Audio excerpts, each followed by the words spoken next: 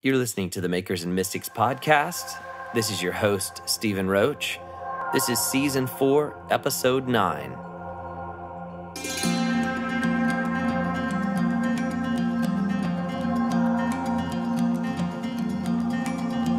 CJ Casciotta is a writer and communicator who is passionate about helping organizations and individuals discover their inherent uniqueness.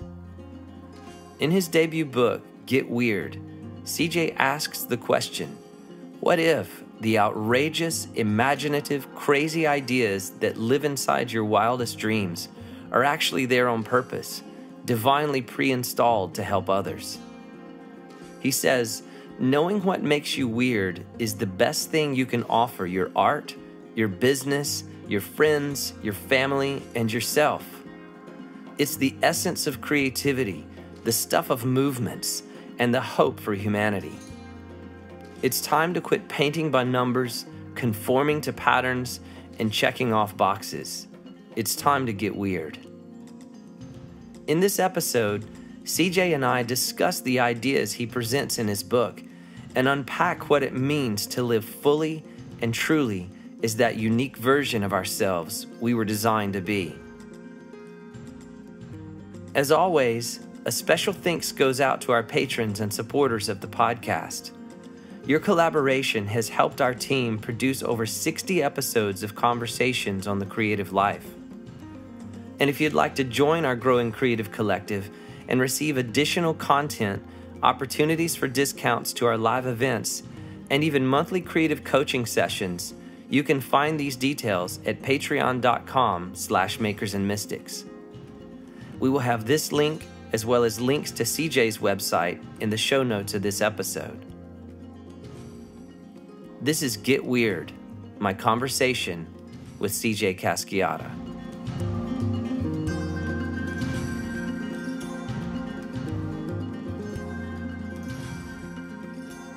CJ, thank you for joining us on Makers and Mystics. I'm looking forward to talking with you today.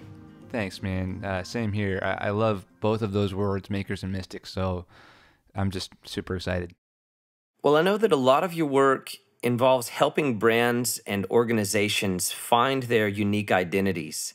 You've worked with brands such as Whole Foods and MGM Studios, but more recently, you've written a book titled Get Weird Discover the Surprising Secret to Making a Difference. And this book seems to be geared more toward helping individuals find their unique identity and so I wonder is there a correlation between helping organizations and then helping individuals when it comes to discovering our own uniqueness?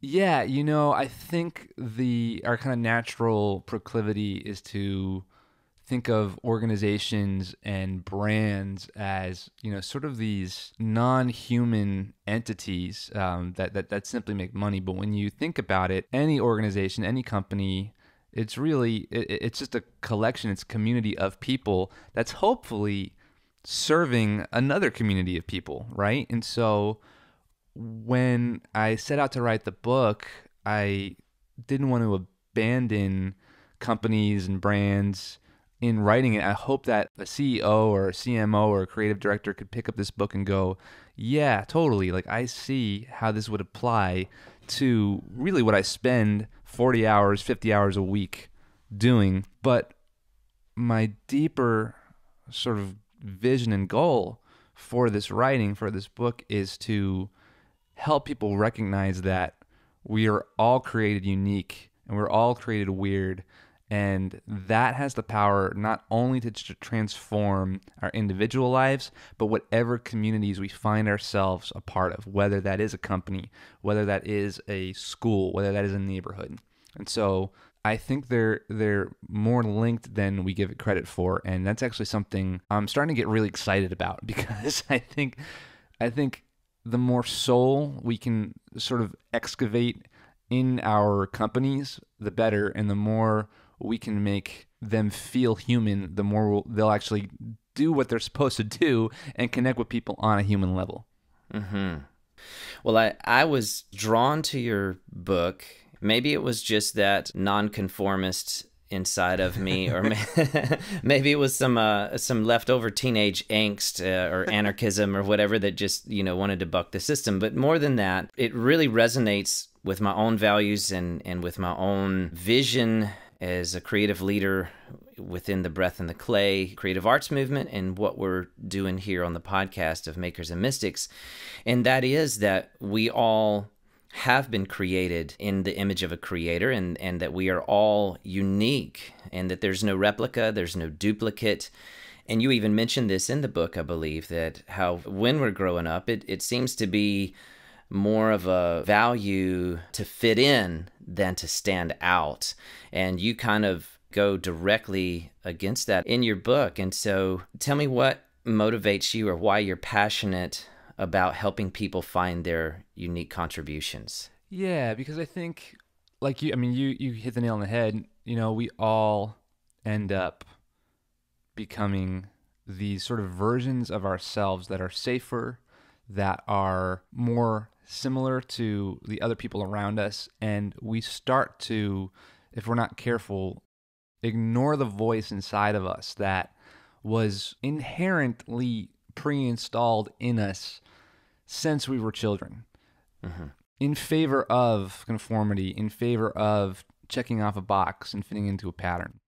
And we do that because we're just conditioned to, you know? Like, it's so funny to me that as four year olds, five year olds, six year olds, no one has to tell us to imagine. No one has to tell us to create these, you know, fantastic sort of adventures in our mind and just kind of run and skip through Fantasyland. Like we do that by default. But then at some point, whether it's a bully, whether it's a parent, whether it's a, a, an authority figure, they tell us that, that that stuff actually doesn't matter. And what we need you to do in order to survive in this world is to act like everybody else.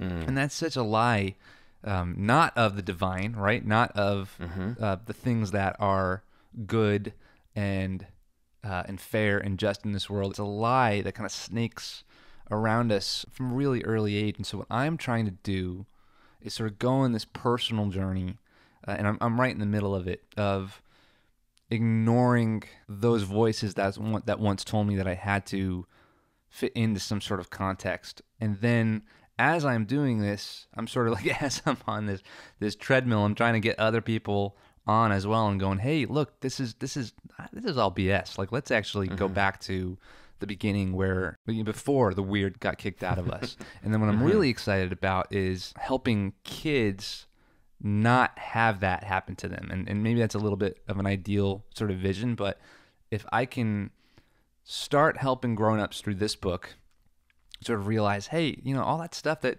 you know, was told to you about fitting in and conforming and stuff, that that's that's actually not true. And then help kids realize that from the very beginning so that they don't end up becoming grown-ups that forget it i think we'll uh, you know maybe i'm um, again i'm a crazy idealist but I, th- I, think our our politics our government our economy our families our neighborhoods are, are, are actually going to be uh, a little bit better because they're a little bit weirder.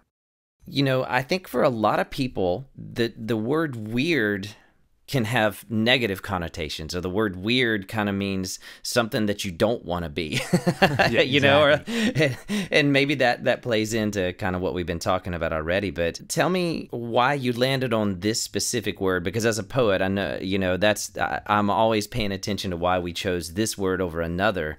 I'm curious you're using weird in a very positive sense as something that you know you're calling people to get weird or to embrace that uniqueness. Tell me why you chose the word weird. Well, I mean, it's probably no secret that I'm I'm a contrarian by now, by by nature, and I think, you know, I kind of hope that it's. I, I got I got the chance to meet the guy who started the Dummies brand, the the you know like in the Internet for Dummies and Chess for Dummies and everything. He said that you know publishers really kind of balked at the idea of calling somebody a dummy early on. And it was a challenge for him to actually get these books out there the world. But obviously, we know once that happened, you know, things really took off. And so I'm kind of hoping we're in a, a, certain point in culture where, yes, the word is contrarian and yes, the word is going to turn heads, but there's a little bit of curiosity and even an understanding that weird is actually good and that we want to be weird. And, and when you think about it, it really is the essence of any kind of brand positioning, of any kind of thing that that we want, whether we're a leader, whether we're a company, whether we're um, you know a family, is we want to be weird. We want to be different. We want to stick out from the rest of the noise and the static out there. Yes, it's hard. Yes, it's difficult. Yes, there's stuff at risk, but that's who we really want to be if we want to get in on that abundant good life. Well, I I would love to talk specifically about some of the topics in the book because they're very unique ideas and I'd love to give the opportunity just to unpack it tell me what is the myth of the caterpillar? oh yeah, the myth of the caterpillar. Well, also I'll tell you the story really quick. So I was I was writing a bunch of this book on my friend Mama Moo's farm, who is this sixty uh, something year old wonderful woman who she's got this like 21 acre farm and this farm is beautiful. I mean, there's there's cows, there's chickens, there's geese, and there's all of these tomatoes and vegetables. And so I was writing a good little chunk of this book on our farm, and it had been about three or four days that I was there, kind of sitting on her rocking chair and chipping away at this thing, and I wasn't really getting any kind of inspiration to to write what's next. I was like, man, I'm on this beautiful farm. I'm kind of hoping that it speaks to me, and it's really not right now. And so the last day that I was on the farm, I was about to leave for a meeting that I was actually late to. And then she stops me. She goes, "Hey, come here. You got to see this thing. You got to see this thing over on this tomato leaf." So I bend down and I look at the tomato leaf, and I'm like, I, "It's a tomato leaf. I don't understand. What, what's, what's the deal?" and she looks, "No, look, look closer." And there's this really beautiful little insect that's got it's like bright green. It's got like big pops of yellow and jet black all over it. And she goes, "This is the caterpillar that turns into a monarch butterfly. Isn't it beautiful? And like clearly there was no question. Like of course it was beautiful. I mean, it's a really good if you if you Google image search, it's a fascinating thing. But that's like all of a sudden everything just kind of hit me. I'm like, dude, that's the moment of inspiration I've been waiting for because I'm writing this book about weirdness, and I think there are these narratives that we get told our whole lives about what weirdness is that aren't necessarily true. Mm-hmm. So Rudolph the Red-Nosed Reindeer, for example. Classic story. Everybody loves it. But I'm not on board with the idea that Rudolph's weirdness, his uniqueness, his red nose is only considered interesting or valuable once Santa and the rest of the reindeer need it to mm-hmm. actually get them out of the jam of the foggy, you know, Christmas Eve, right? I mean, that's sort of giving too much power to the people around us instead mm-hmm. of going no no no like my red nose my uniqueness my weirdness is, is valuable just because it's actually there and so i just want to be careful that we don't continue to tell narratives like that to our kids about their weirdness about their uniqueness because i think it's a false start and so what was interesting about this caterpillar is i'm sure like you i've grown up realizing or you know hearing the story that of the the ugly caterpillar that turns into a beautiful butterfly or the um you know, the ugly duckling that turns into a swan. But here, you know, I'm 30 something years old. I'm, you know, in my early 30s, and I'm looking at this caterpillar, and for the first time in my life, I go, wait a minute, this caterpillar isn't ugly. Mm-hmm. it's actually it's actually a pretty good looking caterpillar. so, what does that mean? What does that mean? Well, look, metamorphosis is great, right? We always want to be growing, we always want to be transforming, but we can't give the power to everybody around us to help us consider that we're actually wonderful. Um, mm-hmm. This caterpillar is wonderful just simply by existing, simply by being, quite possibly before it knows what it's destined for.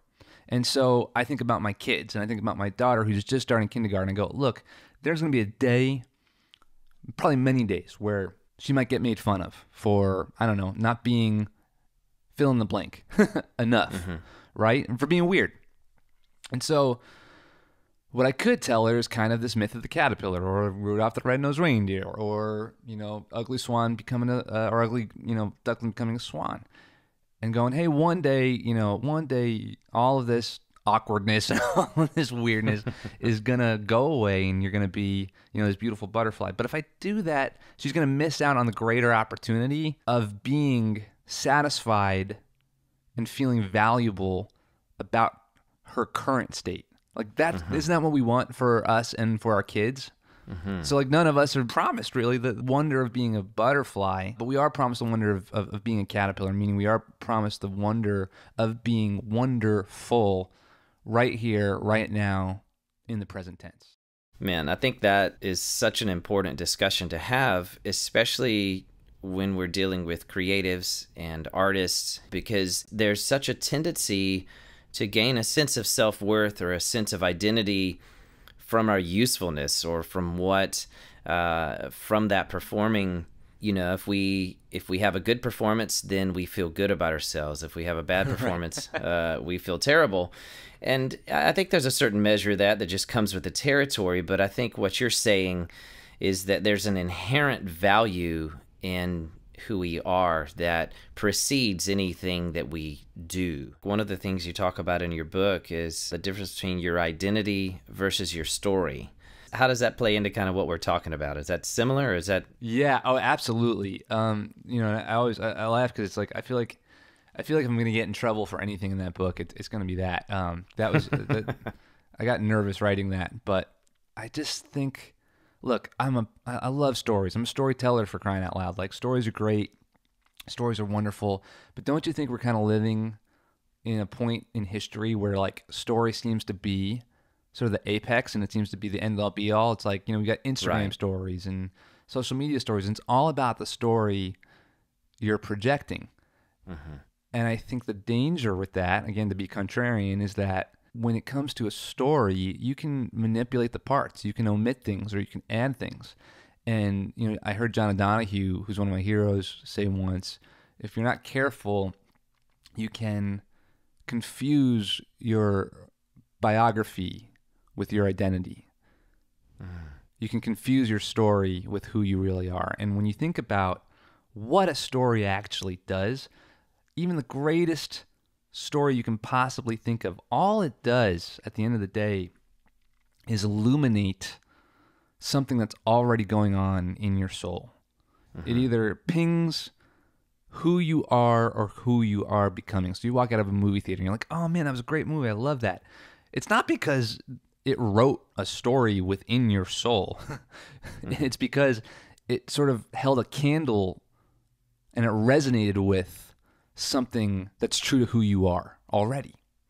And so your identity is not something that you can finesse or conjure up or mm-hmm. create. It's something that's pre installed and given to you. And if you're not living from that source and you're trying to sort of grab at all these other exterior things to build it, what you're really doing is just creating a narrative. And that narrative may or may not be true. And I think we're starting to see the effects of that now more than ever, now that social media has kind of hit this saturation point and people are mm-hmm. going, wait a minute, that's not who that actual person is. That's a curated version of this identity that they're trying to finesse and conjure up.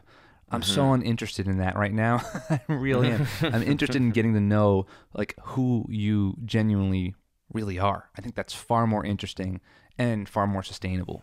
Yes, I totally agree with that. And catapulting off of that to one of your other contrarian ideas, what lies behind a lot of the curating of this false persona of who we are is really an attempt to cover up an insecurity about our true identity. Mm, yeah. But one of the things that you talk about in the book is why insecurity is actually good. Could you elaborate on that? Yeah, I actually really love talking about that because it forces me to live out what I am saying. Which, um, so there's obviously a type of insecurity that is, is is not good in the sense of you don't know who you are and you're not operating out of your true beloved self. But there's also this version of insecurity that I think in the West we're very, very averse to. And I think it, it stands directly in the face of trying to do something weird and trying to be weird and trying to uh, create something unique and worthwhile. And it's the insecurity that comes with the fear of not having everything we need to be safe and secure and resolute. And if you look at the life of Christ, if you look at the life of some of these great artists and movement makers throughout history, there needs to be this sacrifice. There needs to be this sort of throwing all caution to the wind and going, I am going to see this vision happen. And that means I might not have what I need tomorrow. Mm-hmm. I might not have everything I want to create the life I've always dreamed of, right? I mean, creating the life, you see these messages like live your best life now, create the life you've always dreamed of, and you deserve this, really stand in direct contrast to this do what you love, be passionate about what you're doing. You know, we were trying to say all of these things in culture, but they really don't, they, they're like two magnets that are repelling against each other. So mm-hmm. if you really want to live out of your unique, true self and follow your calling and all of that stuff that, that this book is about, you have to become friends with insecurity, with with not knowing what's going to happen next. And you know, Sister Simone talks about the theology of insecurity and the the fact that in America, you know, we're always like, well, if we're going on a camping trip, you know, well, let's let's bring up the extra sweater and let's make sure we have a backup tent and let's make sure we have, you know, uh, starter logs for the fire. And and that's just sort of baked into our culture, right? Mm-hmm. But the practice of walking willing and the practice of of being weird and creating something new and different and imaginative in the world comes with this and you can call it a sacrifice or you can call it a sacrament right mm. mm-hmm. of going i don't know what's going to happen this might not work but i believe it's divine and i believe that i'm called to do it and so i'm going to take the first step and the next step and the third step and i'm going to remember that ancient scripture mm-hmm. about birds feasting and people mm-hmm. fussing. And I'm going to believe that there's something bigger here and that I'm a child of the Creator and I'm okay. Wow. I think what you're saying is important not only to artists and creatives individually, but also to our communities of faith in general. Mm. You know, because a lot of insecurity can stem from a fear of the unknown we are creatures of comfort. We like our sense of certainty. But I feel like for communities of faith to continue to be agents of change in our culture, we have to get past these insecurities and fears of the unknown. And I think the message of how our weirdness, as you said, moves the world forward is important for this cultural moment. And so I'm glad you're addressing some of the things that you are. Well, well, thanks. Yeah, and and and really, the message is is that yes, your weirdness has the ability to do all of those really great things, right? Move culture forward and make a difference, and all that kind of stuff that we want to do. But it's something inherently rooted in who you are, not what you accomplish. And so, if you can't get that right, and if you can't come to terms with that, then nothing else is going to really follow.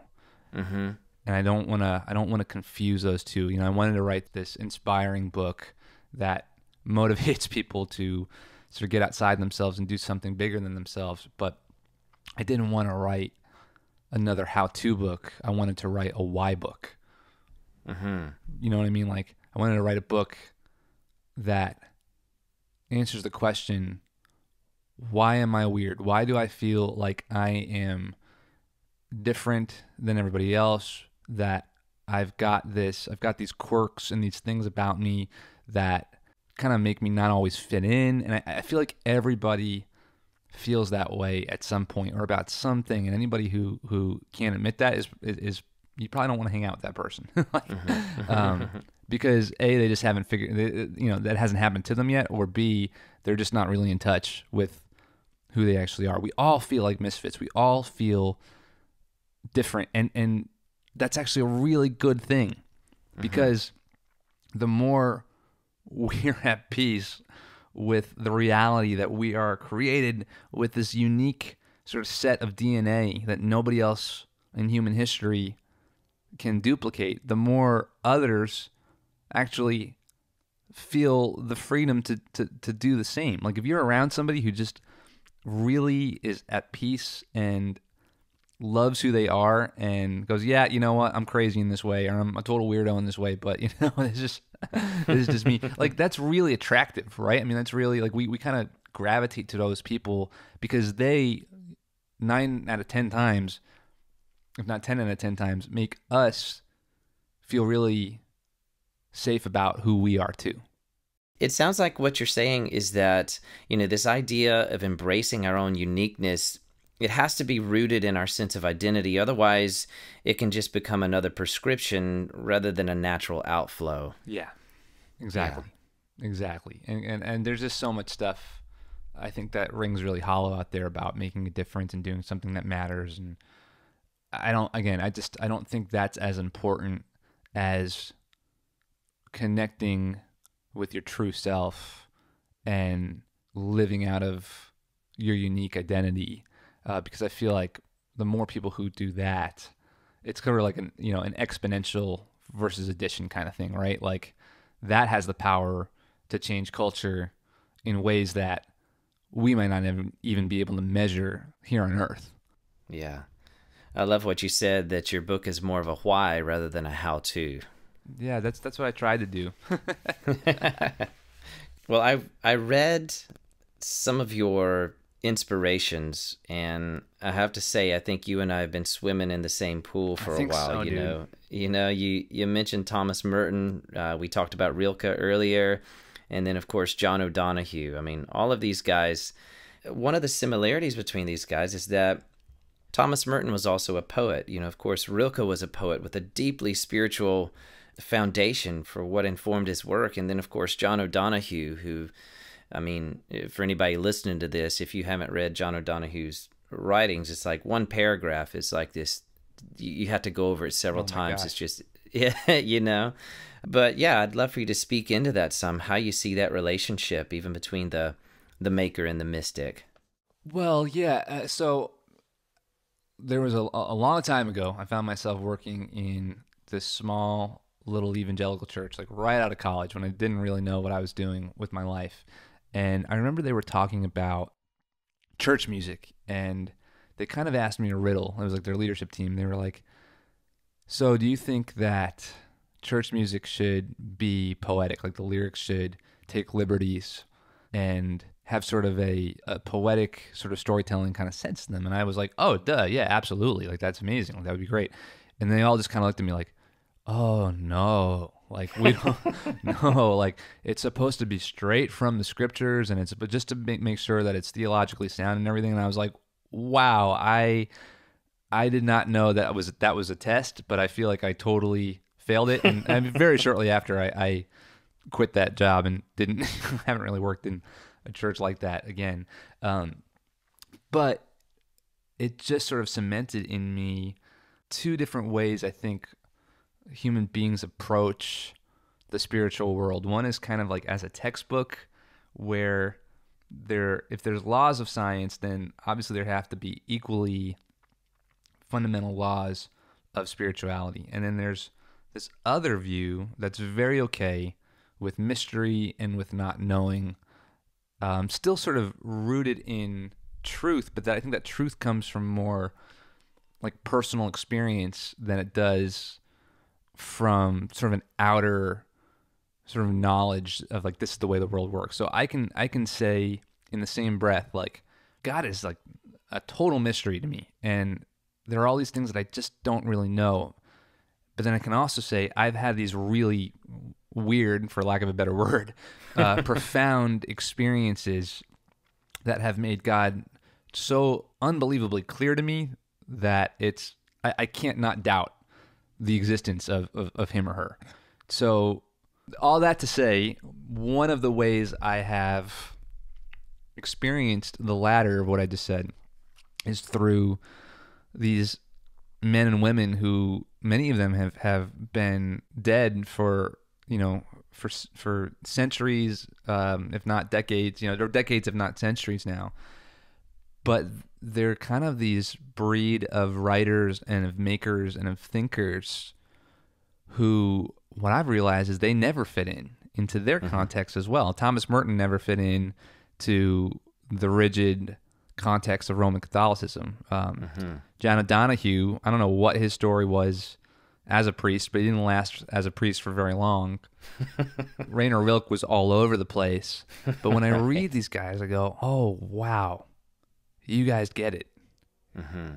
You're actually experiencing things that I've experienced. And it's not like I don't find that in the anthology of scripture that is the Bible. I absolutely do, but I I don't discount the divine indwelling of their writings as well, or the divine inspiration of their writings as well. I mean, our lives are divinely inspired, and so we, when we throw around words like, "Oh, this is inerrant and this is inspired," and just yeah, like, but but Rilke, who's a 23 year old misfit guy who can't really hold a job and has a ton of women problems, um, his stuff is inspired divinely too. It seems.